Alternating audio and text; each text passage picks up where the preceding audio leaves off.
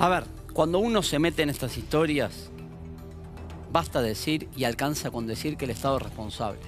Porque otra vez estamos en presencia de una víctima de violencia machista que pidió ayuda, que hizo denuncia en un juzgado civil, en un juzgado de familia, que le aplicaron la restricción perimetral al femicida y que él la termina matando igual. Bautista Quintriqueo, el femicida, y mostramos el lugar exacto con imágenes de esta mañana en Villa Langostura. Este es el lugar del femicidio. Una cacería femicida. Persecución hasta asegurarse el femicidio por la calle.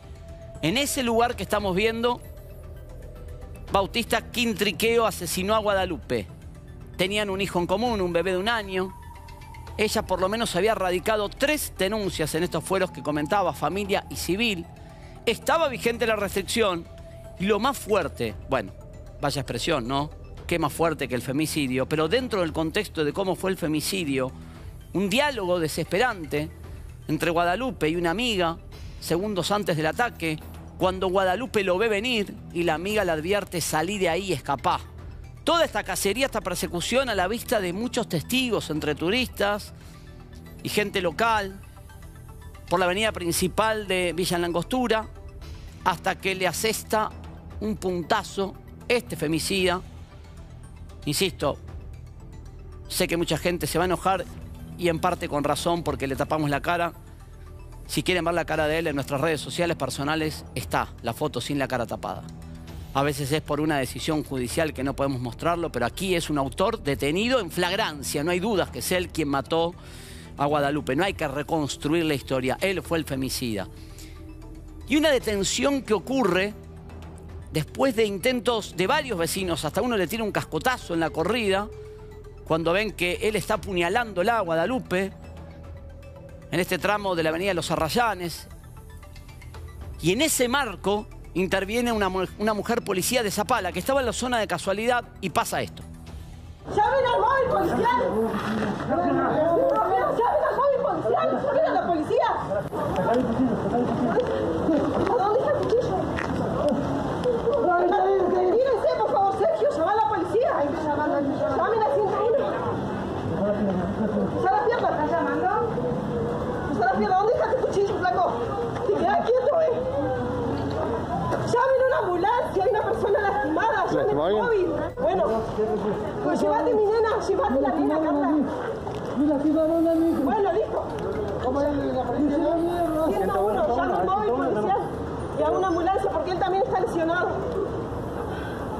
¿Por qué de llamar a la policía? No me grabes. Se está llamando a la policía ya. Y afortunadamente, una mujer, una policía de Zapala, estaba en el lugar, pleno centro de Villa Langostura, y a partir de su trabajo logra Mauro la detención justamente de esta persona, del femicida. Exactamente, hay un trayecto que no lo tengo en cantidad de cuadras, desde el lugar donde ocurre el femicidio hasta esta detención que uno podría tildar casi de ciudadana, porque participa una mujer policía de civil que ni siquiera tiene que ver con la región, la desesperación para convocar refuerzos para retener al femicida. Y lo que contaba antes, Guadalupe vivía con Lucía, juntas, trabajaban juntas. Lucía sabía que Guadalupe era víctima de violencia de género, se ayudaban. Creo que Lucía también era víctima de violencia machista por, por, parte de otro hombre. Y en un momento la conversación que ocurre cuando Lucía, entiendo, se había ido a hacer unas compras con el bebé de Guadalupe, ahí está la conversación donde Guadalupe, no sé si vía telefónica, por WhatsApp, le dice a Lucía, está viniendo, y Lucía le dice, salí, andate ya. Y ahí es donde el hombre la intercepta en la calle a Guadalupe y arranca una cacería femicida donde el objetivo del femicida era asesinarla. No le importaba si era delante de testigos, delante de nadie, con cámaras seguramente de vecinos que iban grabando la secuencia. Acá tenemos una de las últimas publicaciones del femicida, ¿no? Bauti Quintriqueo, noviembre 2019, te amo, Guadalupe Curual, vos fijate, lo hemos visto infinidad de veces. Estos femicidas que se jactan de amar a las mujeres cuando en realidad las tratan como objeto, las cosifican y las terminan asesinando porque el Estado se lo permite y porque la ley vigente que tenemos, y en esto quiero ser también claro, cuando hay una amenaza en contexto de violencia machista, muy pocos detienen porque la ley te dice que favorece que el imputado haga el trámite o la imputación en libertad. Una restricción perimetral que nadie puede garantizar que se cumpla. De hecho, acá la violó, la restricción y la mató. Estamos casi contando la misma historia que Úrsula con dos semanas de diferencia. Usted le pone, cambia el nombre de Guadalupe por Úrsula, el caso de Rojas, y encuentra una historia calcada.